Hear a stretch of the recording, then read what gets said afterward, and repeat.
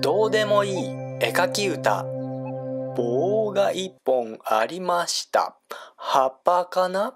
葉っぱじゃないよカエルだよ。縮小するよ。靴下を描くよ。ワンポイントの入った靴下。卵が一つありまして昆布が上に乗っかってその中にハンガーが一つあってという間にシュリーマン